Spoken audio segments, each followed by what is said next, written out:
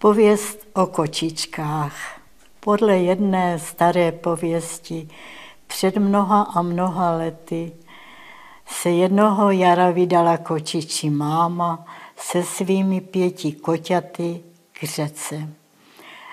Byl krásný slunečný den, koťátka byla zvědavá a proto pobíhala kolem, skákala veselé po trávě, hrála si na schovávanou mezi stromy, honila motýly.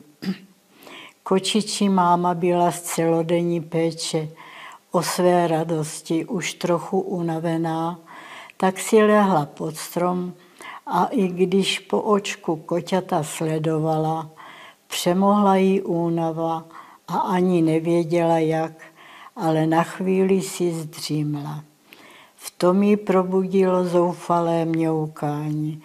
Maminko, pomoc, topíme se.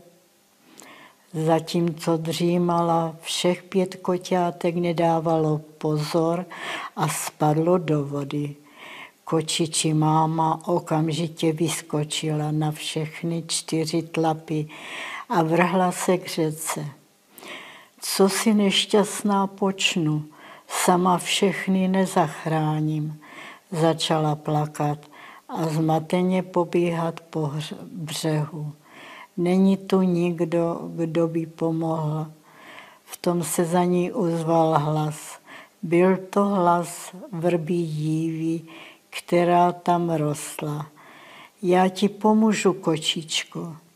Ustup, aby se tvoje koťátka mohla chytit mých větví, těmi je vytáhnu.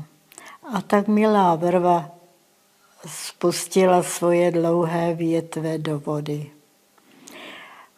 Koťátka se jich pevně chytila a tak se dostala bezpečně zpět na břeh.